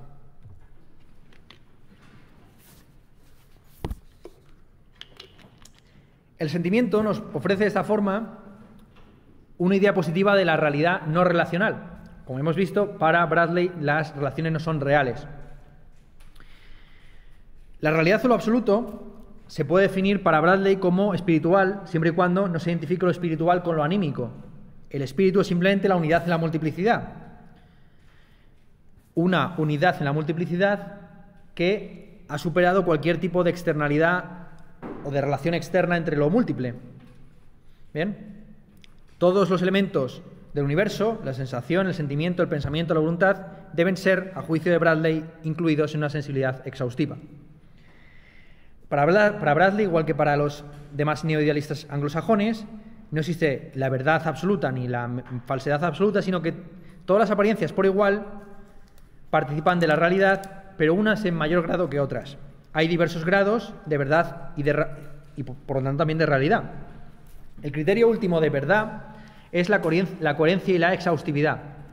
Es decir, una verdad que fuera absoluta, aunque es imposible, debería estar libre de contradicciones, no, ser coherente consigo misma y no dejar nada fuera de sí, de misma, ser completamente exhaustiva. El fin del conocimiento de este modo es la aprehensión total del universo de tal forma que todas las verdades parciales aparezcan relacionadas e internas, relacionadas de manera interna, sistemática armoniosa con el resto de verdades parciales. Ahora bien, este objetivo es inalcanzable porque coherencia y exhaustividad son objetivos antagónicos. Cuanto más coherentes somos, menos exhaustivos somos y viceversa. Cuanto más queremos abarcar la realidad, más entramos en contradicciones. No es posible combinar la exhaustividad con una comprensión de todos los hechos singulares. Cuanto más amplio y más exhaustivo sea nuestro esquema más relacional, más abstracto será. De tal forma que la, junto con esta verdad que se quiere buscar, la verdad como máxima exhaustividad y máxima coherencia, nos encontramos con una verdad parcial, que es meramente la satisfacción de nuestra naturaleza. Para Bradley, igual que para el resto de neoidealistas anglosajones, el mal no es sino, no un momento del el bien, Ahora bien, a diferencia del resto de neoidealistas em, anglosajones, Bradley no va a identificar lo absoluto con Dios. A juicio de Bradley, los filósofos teístas están siempre buscando la satisfacción de su concepción personalista de Dios, es decir, concebir a Dios como un sujeto al que se le pueda rezar y con el que se pueda establecer, un comercio de la salvación. Sin embargo, a juicio de Bradley, la religión no versa sobre ese, sobre ese absoluto, que, que no es Dios, sino que el principio básico de la religión no es ni el saber ni el sentir, sino lo siguiente. La religión es el intento de expresar la realidad total de lo bueno a través de todos los aspectos de nuestro ser, y mientras sigue ese camino, es a la vez mayor y superior a la filosofía. Con lo cual aquí estamos ante una posición muy más elingiana que hegeliana, según la cual la filosofía no subsume y supera a la religión, sino que la religión es la forma suprema de la filosofía. Bien, vamos a terminar aquí en casa lo que faltaba por explicar en clase. Nos queda por explicar el pensamiento de Josiah Royce, un prepragmatista, uno de los últimos neoidealistas anglosajones, que influye decisivamente en Peirce, en Dewey y en la mayor parte de los pragmatistas estadounidenses. La principal obra de Josiah Royce son unas conferencias, unas Key for Lectures, que pronuncia a finales del siglo XIX. Las Gifford Lectures, para el que no las conozca, es toda una institución dentro de la filosofía anglosajona, se siguen pronunciando a día de hoy, cada año las pronuncia un filósofo distinto y por ellas han pasado las principales figuras de la filosofía en ese idioma, en el inglés. Eh, las Gifford Lectures de Josiah Royce comienzan planteando la cuestión del sentido del ser, del sentido de las ideas. Como vamos a ver, en Josiah Royce el ser y la idea es prácticamente lo mismo. Eh, lo dice él en estas palabras. Proponemos como respuesta a la pregunta ¿qué es el ser? La afirmación de que ser significa simplemente expresar, encarnar el sentido interno completo de un cierto sistema absoluto de ideas, sistema que además está realmente implicado en el verdadero sentido o fin interno de toda idea finita, aunque fragmentaria. Así como vemos, Royce vincula de manera muy estrecha la epistemología con la ontología y desde esta definición de lo que es el ser esta vinculación tan estricta entre el ser y la idea va a evaluar tres teorías que a su juicio son inadecuadas o demasiado parciales del ser. El realismo, el misticismo y el racionalismo crítico. Eh, por realismo entiende eh, Royce no lo que tradicionalmente se conoce como tal, em, en la tradición de la, por ejemplo, de la filosofía de las matemáticas, se suele calificar de realista al idealismo platónico. Eh, Platón es un realista y al mismo tiempo un idealista porque cree en la realidad de las ideas. Las ideas, entendidas también como ideas matemáticas en la tradición de la academia, pues existen en principio con independencia de que sean pensadas por los sujetos finitos que las aprenden. Eh, por realismo no entiende Royce esta em, teoría acerca de la existencia de los universales, sino lo siguiente. Realismo es un imperismo nominalista extremo, según el cual el mundo consiste en una pluralidad de entidades mutuamente independientes. Es decir, para el realismo, tal y como lo describe Royce, tan solo existen entidades eh, individuales. Y todas las relaciones que se sobreañadan sobre tales entidades eh, deben constituir por ellas mismas entidades independientes. Aquí Royce está haciéndose cargo eh, de las objeciones planteadas por Bradley al realismo. Es decir, si las relaciones son cosas eh, que relacionan a su vez otras cosas, van a, ser, van a ser necesarias otras cosas que relacionen a las relaciones con las cosas. Este es el, famoso argumento del tercer hombre o el, el argumento, la objeción del regreso de Bradley. Como hemos dicho, si las ideas son entidades totalmente independientes de otras entidades, nunca podremos saber si refieren a objetos externos a ellas mismas, y ni siquiera si tales objetos existen en la realidad. Así nunca podremos saber si el realismo, en tanto que idea conjunto de ideas, es verdadero o falso. El problema del realismo es que no eh, es capaz de explicitar sus condiciones de verdad o falsedad. Por, por, la razón que ya hemos explicitado. Es decir, que si concebimos que tan solo existen entidades individuales y no existen eh, entidades más abstractas como los conceptos, los universales o las relaciones, pues nos vemos envueltos en este tipo de paradojas, eh, objeciones, regresos.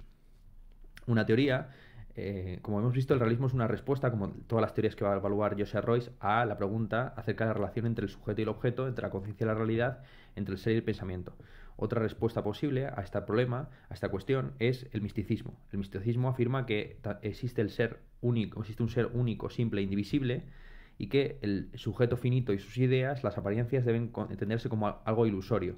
Lo absoluto no puede ser conocido porque solamente se podría conocérsele a través de las ideas, pero estas ideas, como ya he dicho, son, tienen un carácter ilusorio. el problema de este misticismo es que eh, pues también es, es metafísico en sentido absoluto del término, es decir, que no es capaz ni siquiera de describir o de mencionar aquello de lo que está hablando.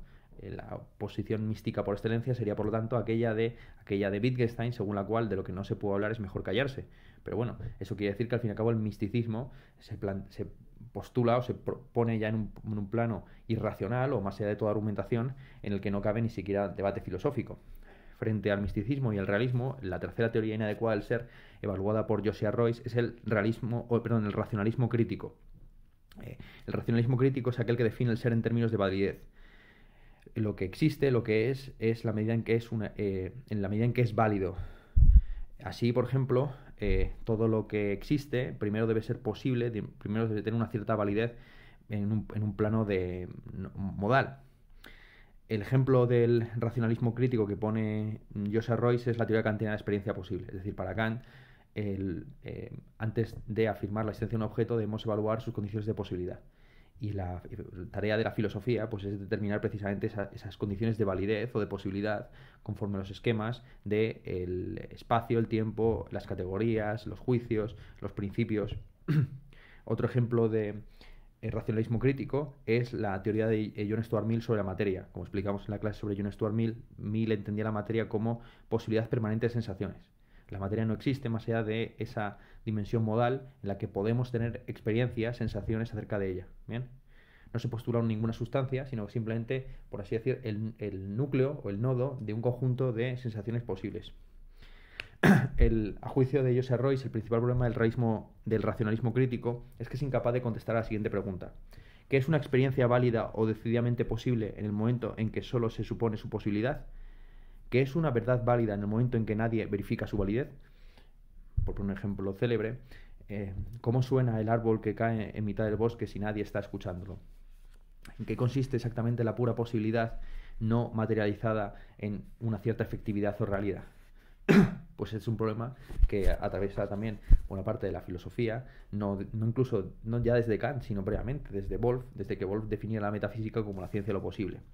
La cuarta teoría del ser, postulada por Josiah Royce, de alguna forma es una síntesis de las verdades parciales de las anteriores. Es decir, Josiah Royce no descarta por completo el realismo, el misticismo y el racionalismo crítico, sino que asume que cada una de esas posiciones tiene una visión eh, parcial, unilateral de la realidad, pero no obstante verdadera en ciertos tramos.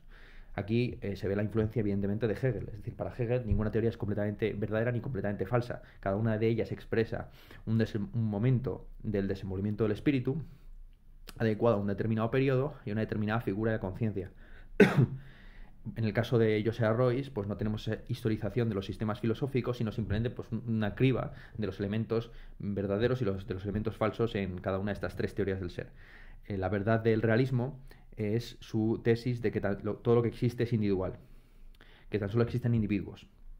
Esto es algo que asume em, Royce con el matiz de que él define lo individual como la vida de la experiencia que realiza ciertas ideas de forma absolutamente final. Aquí se ven varios conceptos que son esenciales en la filosofía de Royce, tales como el de la finalidad. Es más, él va a considerar que la verdad parcial propia del misticismo es su concepción de las ideas como realización o expresión de deseos. Es decir, las ideas no son independientes, no son entidades puramente teóricas, sino que tienen un componente volitivo, un componente práctico. Toda idea es también una aspiración, un proyecto, un plan.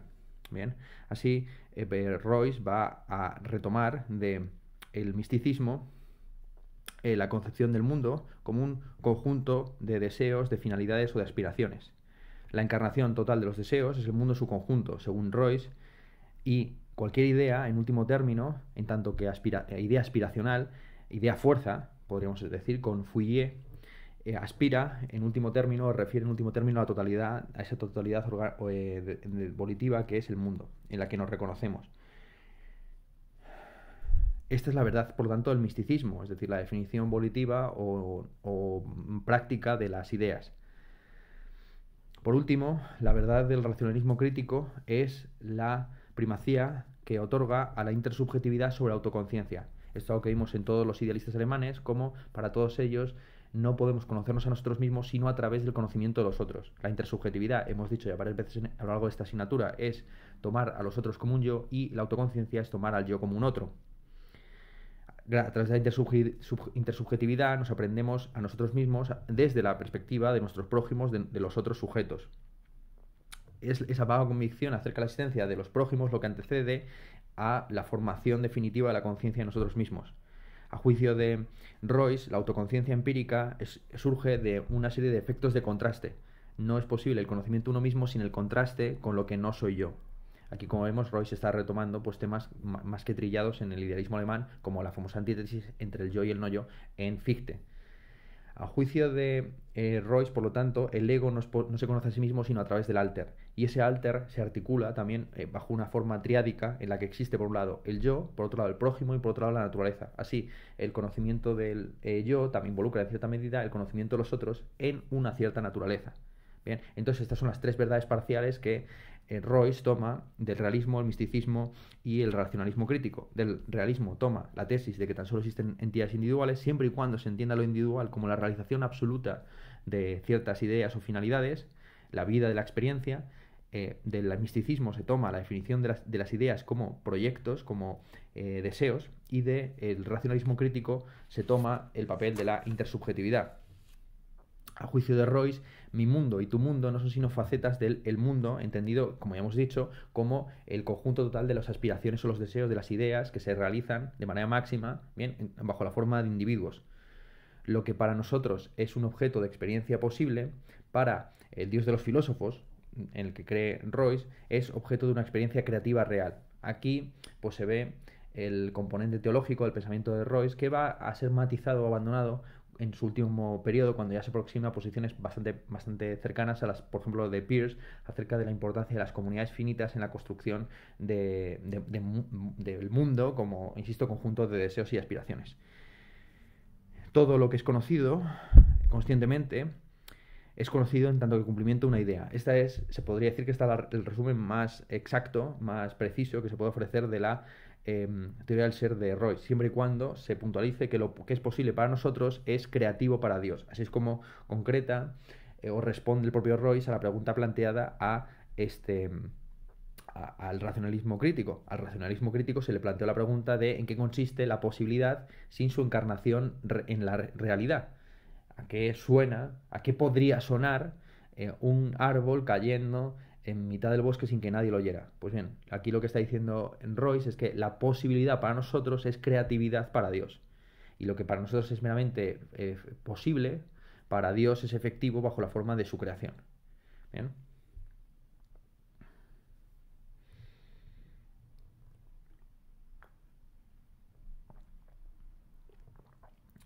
Pasamos a la parte ética. Como ya he dicho, Royce retoma muchos de los temas del idealismo alemán, entre ellos la, em, la vinculación de la ética con eh, la vocación, algo muy fictiano. Em, la, el, verdadero concepto del yo se obtiene por medio del compromiso, de la vocación, de la tarea vital. Ahora bien, toda eh, voluntad finita busca, a juicio de Royce, el absoluto. Buscar el absoluto en sí mismo no es eh, para el yo algo eh, real, sino algo que es sencillamente imposible. ¿Cómo puedo, cómo puede, dice, se pregunta Royce, el yo finito, conociendo el deber, escoger libremente en cualquier sentido, revelarse o obedecer? Aquí lo que está planteando Royce es la vieja pregunta de la ética desde Sócrates, es decir, cómo es posible que la gente actúe, mm, incluso si es posible que alguien actúe deliberadamente mal, o todo el mundo actúa eh, conforme a un bien percibido, aunque ese bien sea ilusorio. A juicio de Royce, sí que es posible el mal a sabiendas. Es más, él define el pecado como el olvido consciente por un estrechamiento del campo de atención de un deber ya conocido. Así, Royce asume la posibilidad de un mal deliberado y consciente, retomando posiciones que ya vimos en la clase sobre Shell. La libertad moral, por lo tanto, se entiende en el caso de Royce como la libertad de retener por atención o olvidar por inatención un deber que ya está presente en la propia conciencia finita. Eh, la, conciencia del deber antecede a eh, las acciones bondadosas o malévolas. En el caso de Royce, al igual que, por ejemplo, en el caso de un Kierkegaard, para quien pues la angustia y una serie de disposiciones anímicas estrechamente el terror, el temblor, el temblor etcétera, asociadas al, deber, no son previas a, eh, al dictamen de este, es decir, a, la promulgación del deber y a su presencia en la conciencia, ante la cual, ante la cual pues uno puede asentir o disentir. El pecado es el olvido deliberado, mientras que la virtud sería, como hemos dicho, la atención o el recuerdo deliberado. Para Royce tan solo existe un precepto que, mm, universal, o el primer precepto universal, al igual que Emerson, es ser un individuo. Es decir, la primera boca, eh, todo individuo tiene, eh, mal que bien, la vocación de constituirse individualmente, de encontrar y cumplir su tarea para la que ha sido, eh, no estoy diseñado, porque nadie nos ha diseñado, sino para que está dispuesto, ¿no? La lealtad es definida por Royce en su libro El problema del cristianismo como la voluntaria y total dedicación de un yo a una causa, cuando la causa es algo que una a muchos yo en uno y en lo que por tanto consiste el interés de la comunidad.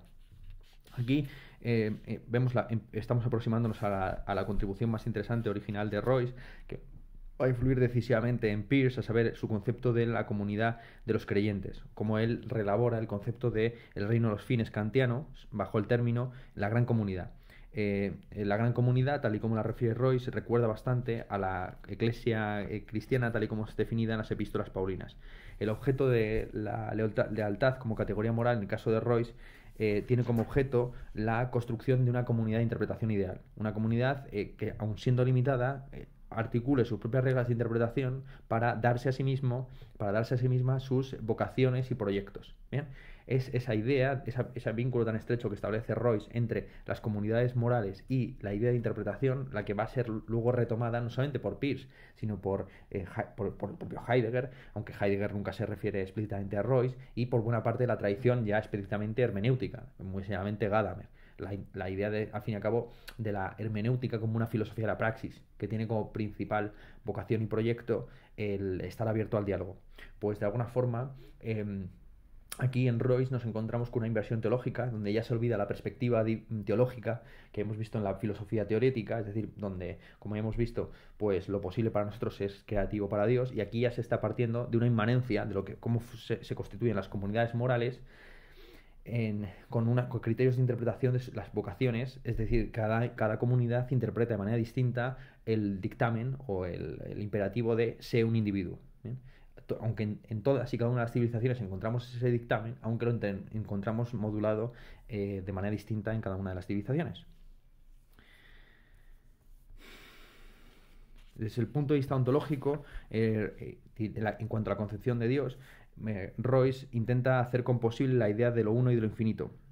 lo uno, a juicio de Royce, se puede expresar bajo, la forma de una serie infinita, bien ordenada, sin que se encierre una contradicción. De esta forma, a juicio de Royce, se puede eh, hacer composible la idea de lo uno y lo múltiple, que es en principio lo que es composible o lo que está, de lo que se compone la idea de Dios. Eh, para, eh, según tal y como lo entiende Royce, una serie matemática infinita, como la de los números enteros, puede construirse por medio de una operación recursiva de pensamiento en el que siempre se está operando sobre, sobre una cierta unidad. Pues es esa repetición de lo uno, sin modificación, la que permite conciliar lo uno y lo múltiple la idea de totalidad y de ser infinita no, no entrañan repugnancia o contradicción. Podemos concebir a lo uno como expresándose en una serie infinita o al revés, como una serie, como una serie infinita coordinándose o, convirtiéndose en una unidad eh, a través de la operación recursiva.